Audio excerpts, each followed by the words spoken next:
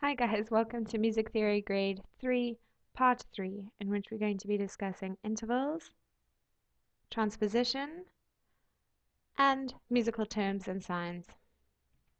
Okay, intervals. In Grade 3, we need to know exactly what we learned in Grade 2, which is all the intervals in major and minor keys. So here in your major key, we have a major second, a major third, perfect fourth, perfect fifth, major sixth, major seventh, and perfect octave. So again, in a major key, you have major or perfect intervals. In this minor key, of course, because of course we're going to look at the key signature first. So we know we're in C minor.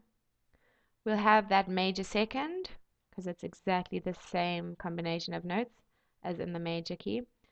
We'll have a minor third, because remember this E flat so it is a C to an E flat, which is a minor third. Perfect fourth, perfect fifth, minor sixth because of this A flat. Major seventh, of course, because the seventh has been raised, so it's the same as in the major key. And then again, this perfect octave. Okay, so remembering that in a minor key we have major, minor, or perfect intervals. And also, guys, please remember, remember, remember to look at your key signatures and even I would say mark in where the flats are. So I would have put a little flat next to this E and a flat next to this A, just so you can work out that it's a minor and not a major third. I did go into a little more depth in this in the in the grade 2 video, so if you're a bit unsure, maybe watch the grade 2 video. Okay, transposition. In grade 3, you'll be expected to be able to transpose music up or down an octave and also maybe up or down from bass clef to treble clef. Transposing an octave is really simple. Okay, all tra what transposing means is you are changing the pitch of a, either a passage or a note. Okay, so you're just changing the pitch, but essentially the pas passage should still sound the same, just at a different pitch. Okay, so transposing an octave is very simple as the note names will be exactly the same.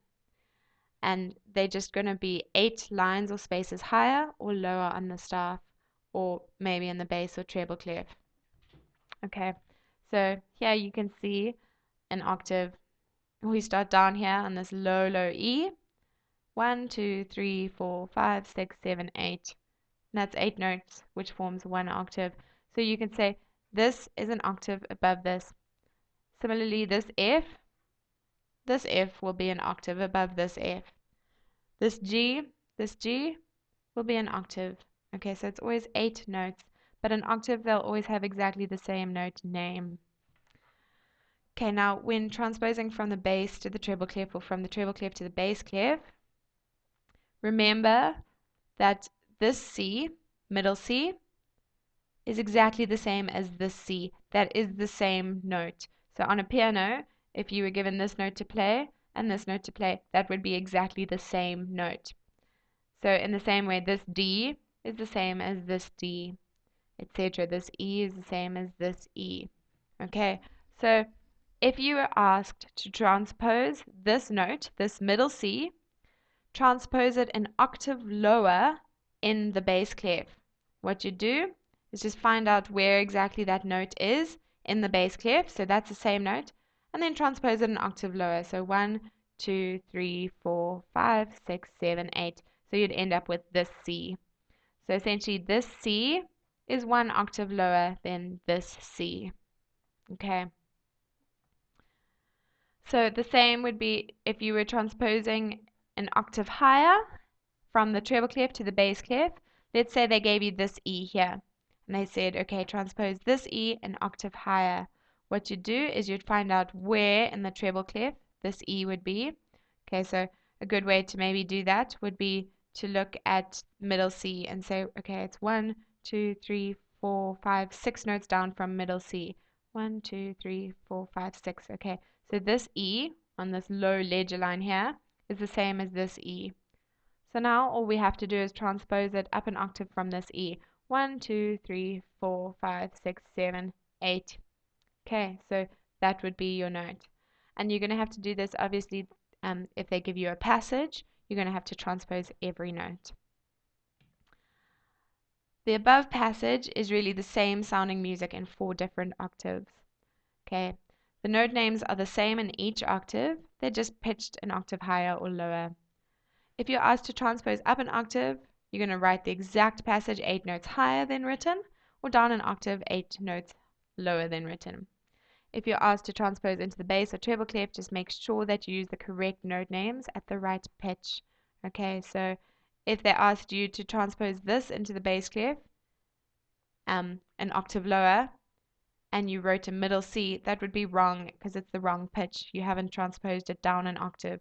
You've just taken the same note into the bass clef. This would be down the octave. Okay, so here, what we have here is, as I said, it's the same music in four different octaves. So this is obviously the highest octave, and this is transposed an octave down. You'll see all of these are in, are in octaves. Okay, and this is transposed an octave down from there, and again, this is an octave down. Okay, or vice versa, you could say that this note here is an octave higher than that, and this one is an octave higher than this. These are all C's. Okay, again, these are all G's. So this is really a good example of just different octaves of music. And you'll only be asked to transpose in octaves. Okay, finally, terms and signs. Okay, we've spoken about things like dynamics, tempo, character, and articulation. Remembering dynamics is louds and softs. Tempos are your speeds. Character is really the character or the emotion that you put into it. And articulation would be the, the attack. So if something is played short or if it's being given its full length. Okay, so the dynamic terms are con forza, which means with force, marcato, which means marked or with accentuation, rinforzando, which is often shortened to RF, RFZ, or RINF. These mean reinforced or emphasized. Sforzando or sforzato, which is often shortened to SF or SFZ. This means um, made loud, so it's a sudden, strong accent. Sforzando piano, which we know that piano means soft, and that sforzando means made loud. So it's a sudden accent and then and then suddenly soft. So it'd be something that maybe starts really loud and then gets soft quickly.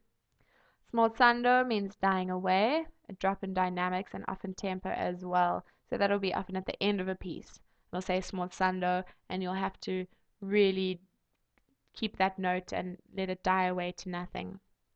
Your tempo markings, con moto means with movement.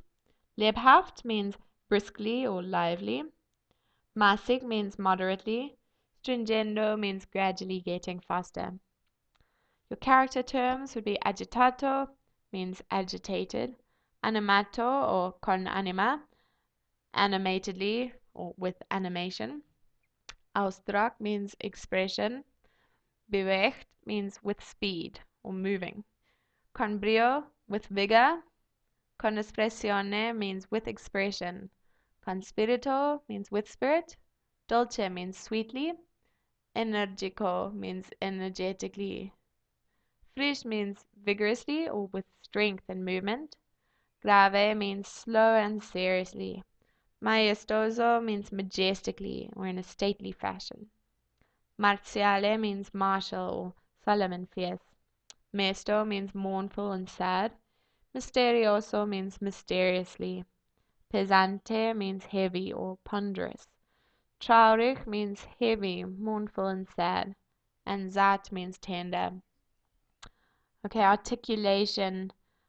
We have non legato, which really means not legato, so not smoothly, slightly detached. As we know, legato means smoothly. Staccatissimo is very, very short and detached, even more so than staccato. Remember, staccato means short and detached, so staccatissimo is really extremely short and detached.